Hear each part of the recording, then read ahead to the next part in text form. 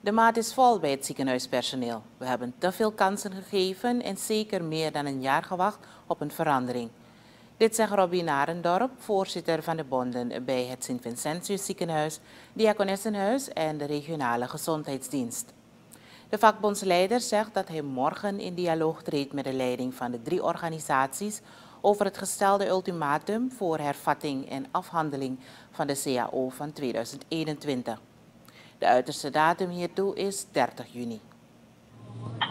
We praten over zaken die al, al lange tijd spelen. Hè? En ik begrijp dat uh, hoe,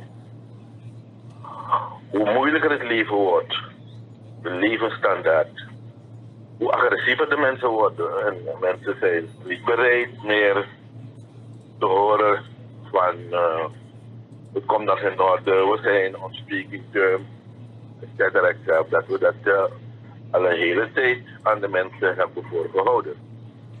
Maar at the end komt er een grens en ik denk dus dat uh, de grens bereikt is. Ik vind het jammer, bijzonder jammer zelf, omdat ik verschillende momenten vanaf vorig jaar heb ik signalen gegeven. Ik heb in november, uh, in oktober, ik heb in december twee persconferenties belegd. Ik heb nog een week op call gegeven aan de regering van het gaat niet goed in de zorg.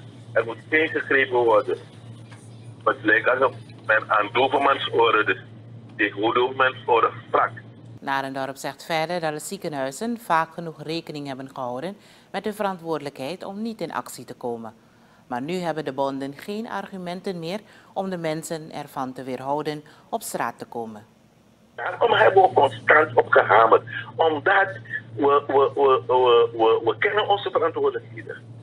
Maar we ja. kunnen niet te lang, we kunnen dus toch niet, niet, niet te, uh, zo lang de mensen in onzekerheid laten, geen reactie geven. Mensen vragen je. Hoe zit het voorzitter? Nog niks gehoord. Dat begreep je wel, dat begrijp ik ook.